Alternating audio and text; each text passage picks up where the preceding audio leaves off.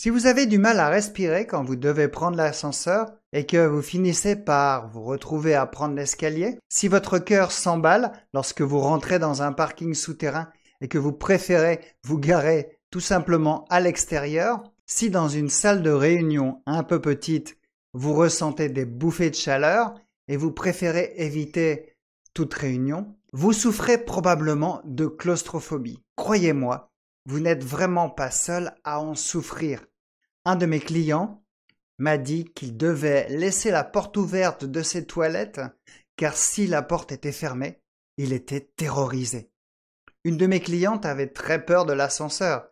Imaginez qu'elle a descendu et remonté les 543 marches du gouffre de Padirac. Et bizarrement, le gouffre lui-même, être à l'intérieur du gouffre, ne lui faisait absolument pas peur. Vous avez l'impression que votre entourage ne vous comprend pas parce que la peur leur semble à eux tellement irrationnelle et peut-être qu'il vous est arrivé que l'on vous dise que ce que vous faites c'est de la comédie. Mais rassurez-vous, il est possible d'agir et de vous débarrasser de la claustrophobie et c'est ce que nous allons voir dans cette vidéo. Mais auparavant, n'oubliez pas de vous abonner et de cliquer sur la cloche pour être informé de toutes mes dernières vidéos. Vous pouvez aussi accéder à une formation en quatre vidéos. Cette formation est gratuite. Elle va vous aider à soigner votre claustrophobie. Le lien est sous la description. Il suffit de rentrer votre adresse email et vous accédez directement à vos quatre vidéos. La vie de Sophie était un calvaire. J'étais euh, claustrophobe, donc j'avais euh, une peur panique des endroits clos. J'étais euh, donc pas bien dans les avions, dans le métro, dans les salles de cinéma, les toilettes de café, euh, tous les endroits où il y avait, euh, où on était enfermé. Puis depuis au moins 25 ans. Et donc du coup, euh, j'avais organisé ma vie de manière à, avec une stratégie d'évitement et donc j'étais toujours en train de chercher le moyen d'arriver soit à une destination, soit à un rendez-vous professionnel. Euh, en ne prenant pas euh, le métro, en y allant en voiture, en taxi, en bus. Euh, et encore le bus, il fallait pas trop, fallait pas que ce soit trop bondé à l'intérieur. Donc j'ai laissé passer beaucoup de temps. j'ai perdu aussi beaucoup de temps dans cette stratégie d'évitement. J'ai passé des métros, j'ai passé du temps sur les quais de, de gare, attendre que les trains moins bondés passent. voilà. Donc c'était une vie très difficile finalement. Moi, à mon travail, tout le monde savait, donc on va dire ça maintenant. Tout le monde savait que j'étais claustrophobe, donc je prenais aucun ascenseur. Euh, et j'étais, je prenais tout, le temps les escaliers. C'était, euh, c'était, tout le monde sait. Enfin, c'était même à la limite considéré comme un handicap quelque part, hein, de ne pas pouvoir euh, aller dans l'autre bâtiment, ne serait-ce que sur un étage ou deux étages, pour aller voir d'autres collègues ou aller en rendez-vous de l'autre côté de la rue. C'est le drame quotidien que vivent la plupart de mes clients. Encore une fois, rassurez-vous, on peut se sortir de cette peur d'être enfermé et de rester coincé, et nous allons voir comment. Auparavant, j'aimerais vous faire passer un test en 5 questions pour savoir si vous êtes vraiment claustrophobe. Premièrement, avez-vous une peur excessive que vous ne pouvez absolument pas raisonner, qui persiste et qui est intense lorsque vous vous trouvez dans un endroit clos Deuxièmement, avez-vous instantanément peur lorsque vous êtes dans un endroit fermé?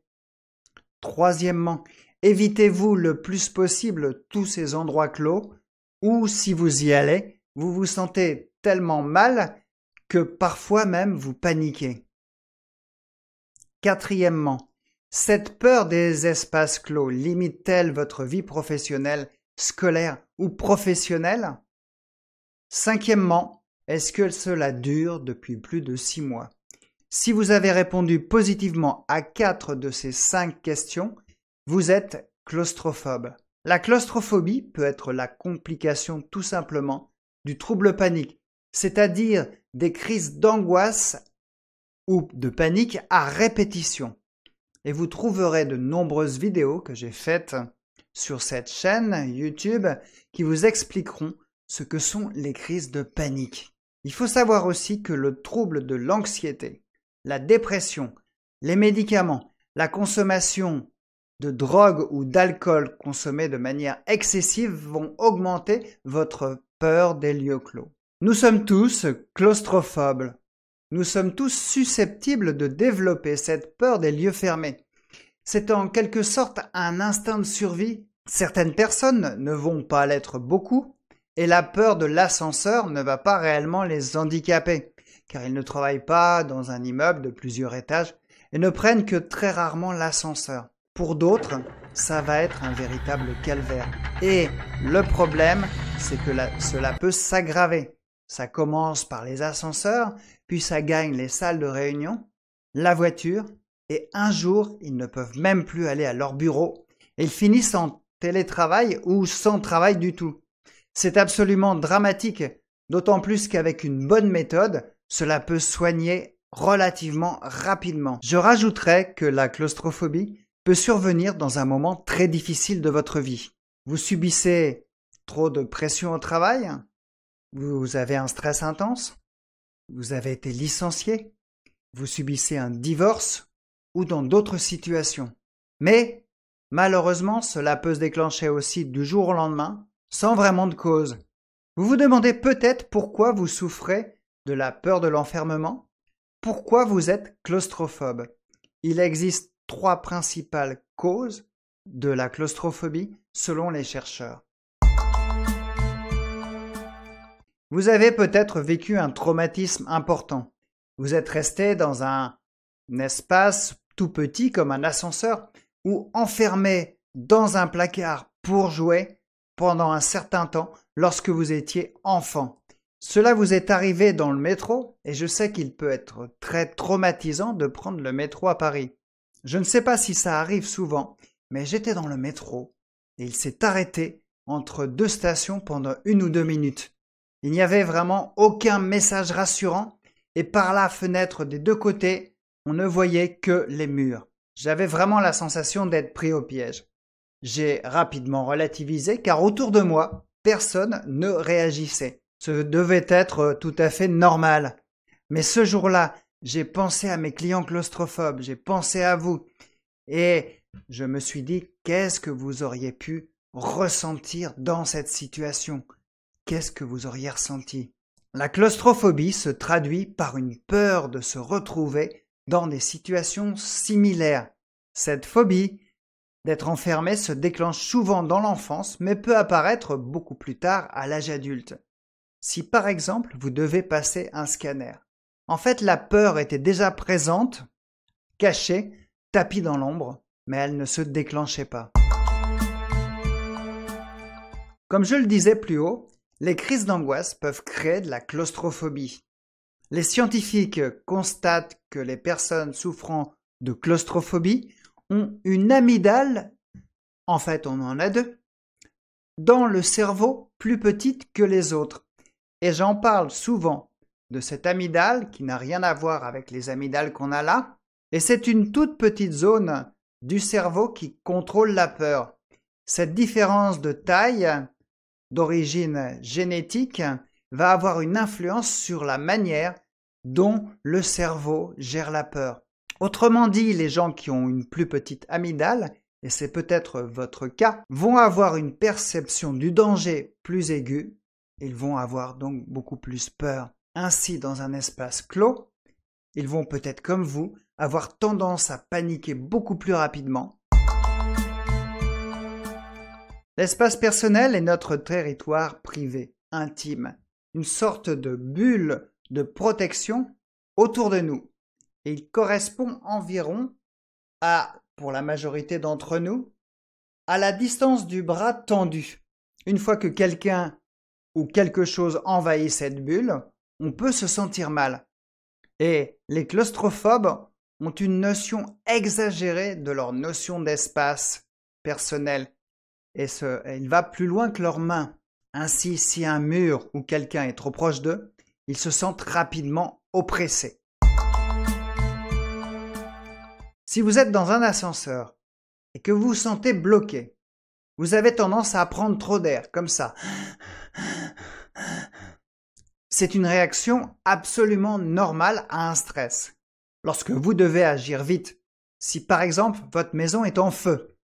Vous avez besoin d'être le plus réactif possible. Le cerveau est une belle machine et par réflexe, vous allez respirer beaucoup plus vite afin de l'alimenter beaucoup plus en oxygène. Ainsi, il va réfléchir plus vite pour prendre rapidement la meilleure décision, comme celle d'aller chercher l'extincteur d'incendie ou tout simplement de quitter les lieux. Vous avez plus de sang qui arrive dans vos muscles et même votre vision sur les côtés augmente de manière à vous faire voir beaucoup mieux le danger. De capter vraiment tout ce qui pourrait être dangereux dans l'environnement. Et cela s'appelle le stress positif. Sauf que quand vous êtes dans un ascenseur, ce dispositif ne sert absolument à rien car il n'y a pas de danger réel, sauf pour votre cerveau qui ne fait pas la différence entre l'imagination et la réalité. Et à force de prendre trop d'air, la peur, car la peur ne vous lâche pas, vous paniquez de plus en plus et vous prenez de plus en plus d'air et c'est une sorte de cercle vicieux. Vous risquez d'éviter de vous trouver dans toute situation qui pourrait déclencher la peur.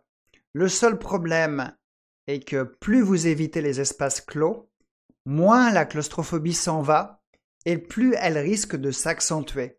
Et chez certaines personnes, cela va aller jusqu'à la peur panique de sortir de chez soi. Et si vous êtes cinéphile, vous pouvez regarder l'excellent film Copycat avec Sigourney Weaver qui illustre bien la peur de sortir de chez soi et comment elle est arrivée brutalement à en guérir. Dans ce film, elle joue le rôle d'un psychiatre réputé, auteur d'ouvrages à succès sur les serial killers. Elle est elle-même victime d'une agression par un serial killer et elle en est très très traumatisée. À tel point qu'elle vit cloîtré dans son appartement et que même pour aller chercher le journal qu'on lui livre dans son couloir, c'est un véritable calvaire. Cela vaut vraiment le coup de voir ce film, même s'il est de 1996. Mais nous ne sommes pas ici pour parler cinéma, mais pour parler de ce que vous attendez avec impatience, c'est de savoir comment vous allez vaincre la claustrophobie. Pour aller sur le chemin de la guérison de la claustrophobie, je vais vous proposer six étapes.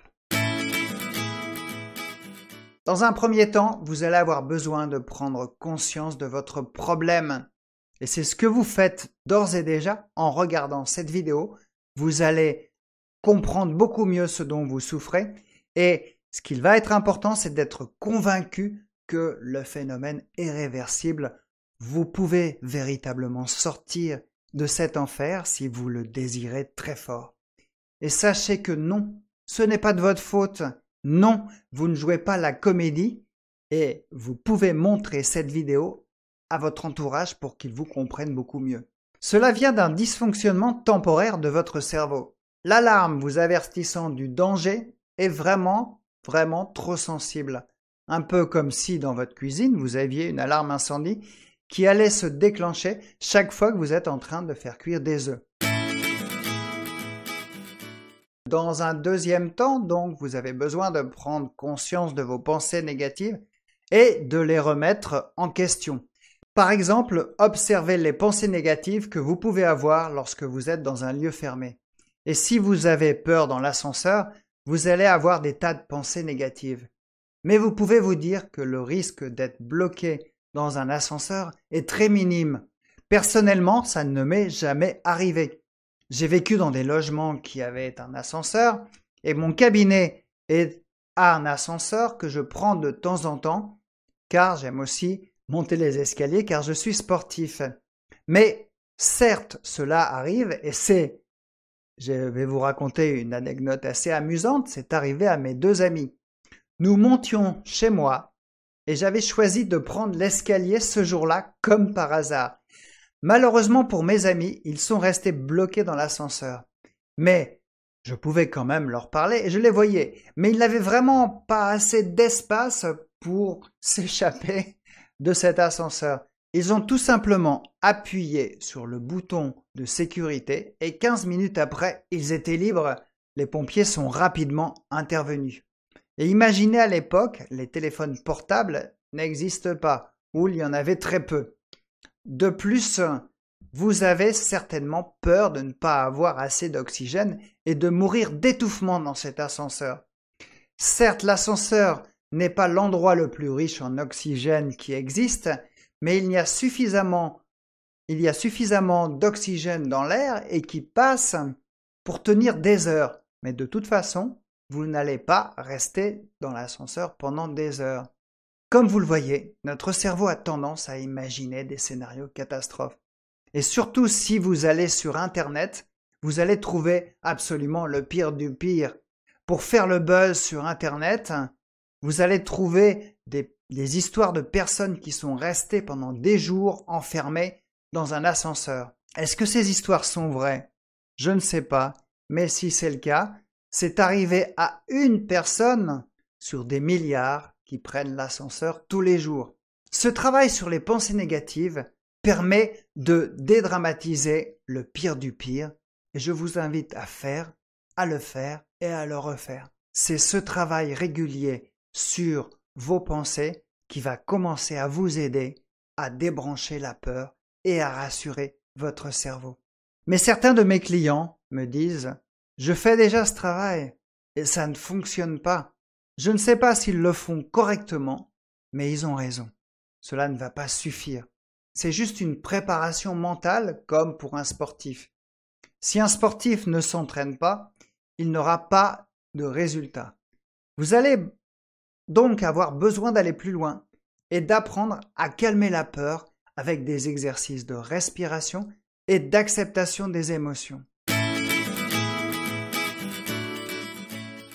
Lorsqu'on a peur, on hyperventile, comme on l'a vu, et c'est nécessaire en cas de grand danger. Mais dans un espace clos, il n'y a pas de grand danger, à part pour votre cerveau. La solution va être très simple.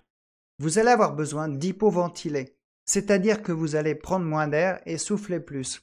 Autrement dit, vos inspirations sont moins fortes et vos expirations sont plus grandes. Et j'ai fait une vidéo sur le sujet qui va vous aider à rapidement calmer votre peur. Vous la trouverez dans la description ci-dessous.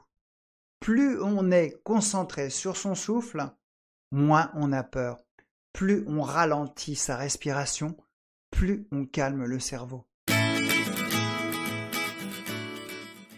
Vous avez besoin de l'accepter. Je sais ce que vous allez me dire, c'est plus facile à dire qu'à faire. Oui, c'est vrai, cela demande un peu de temps pour apprendre la technique, mais pas autant que vous croyez. La technique consiste tout simplement à fermer les yeux et à accepter tout ce qui se passe, tout ce qui se passe dans votre corps, observer l'émotion comme si vous étiez un scientifique. Observez ce que provoque l'émotion dans votre corps, toutes les sensations douloureuses, sans vouloir la chasser. Le simple fait d'observer et de rester connecté avec l'émotion, avec les sensations, vont calmer votre peur. Vous pouvez évidemment associer cette technique à une méthode qui vous permet de calmer votre respiration et votre rythme cardiaque et ce sera d'autant plus efficace. Oui, je sais, c'est contre-intuitif cette méthode, mais testez-la et vous verrez, elle fonctionne du tonnerre. Pour augmenter encore vos résultats, vous pouvez utiliser la technique des grands sportifs. Entre deux sportifs de même niveau, c'est celui qui aura le mieux visualisé la victoire qui va gagner. Aussi étonnant que ça puisse paraître. En effet, notre cerveau ne fait pas la différence entre l'imaginaire la réalité. Essayez d'imaginer que vous avez dans votre main un citron bien jaune.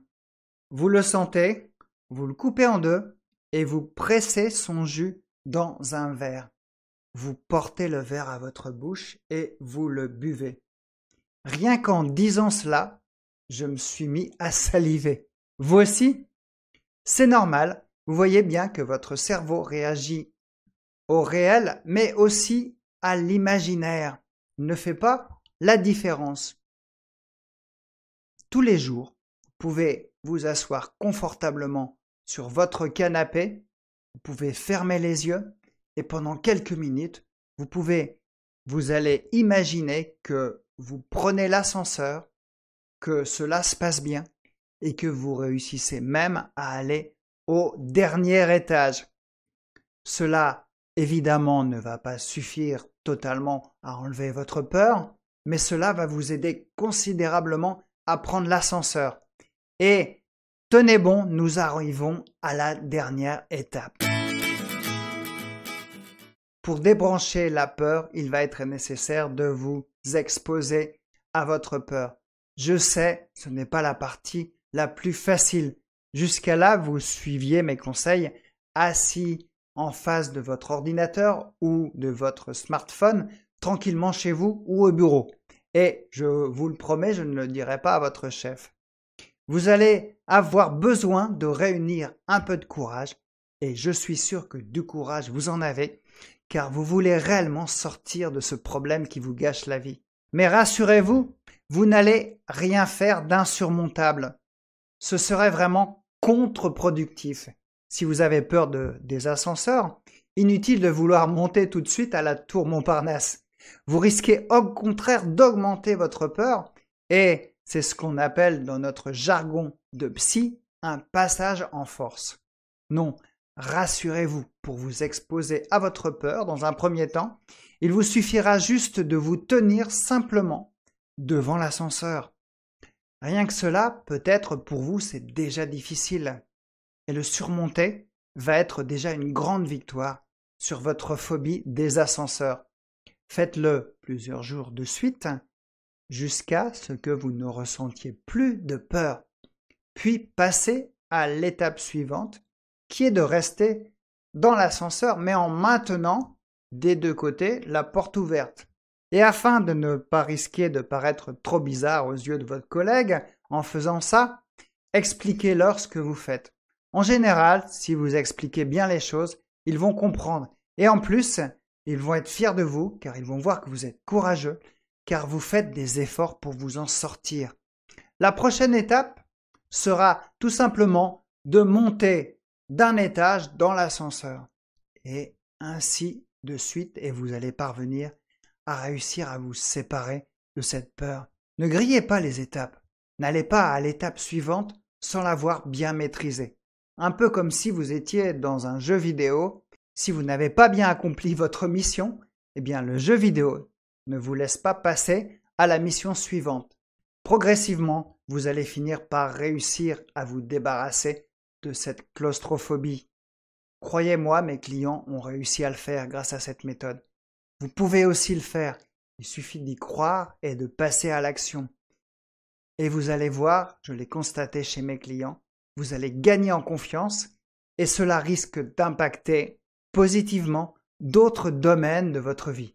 Alors passez à l'action dès maintenant et je vous dis à bientôt pour d'autres vidéos.